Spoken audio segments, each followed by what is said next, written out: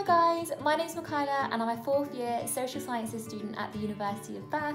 So in today's video, I'm going to take you through the new online exam skills module that was created by the Skills Centre here at Bath and it's all about how to prepare for your online exams, how to do your online exams and I'll also show you how the module helped me prepare for my exams. If you're like me and have never done an online exam before, it can be quite daunting and exams are very stressful at the best of times. Um, so this module actually brings together a lot of different resources from across the university and is a one-stop guide of how to do your online exams. The online exam skills module only takes around 20 to 30 minutes to complete altogether and if you need to, you can dip in and out and choose the bits that you need the most help with.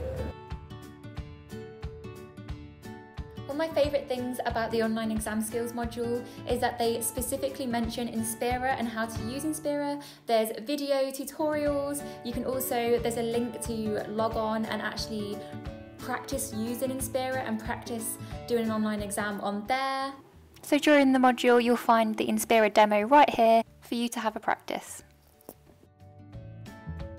As well as the normal exam skills tips, there's a lot of things on how to manage your time properly in an online exam, just because you usually do get a lot more time than you would do as an in-person one. So this was really useful for me.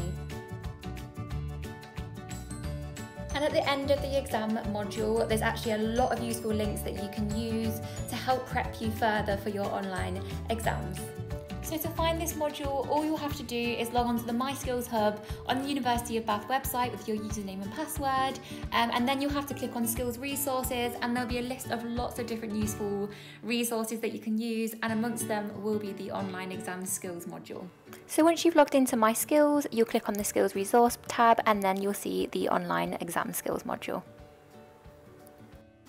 So finally guys, if you do need help preparing for your online exams or you need help to navigate the new software for online exams, I really recommend doing this module as it will really benefit you when you come to do them.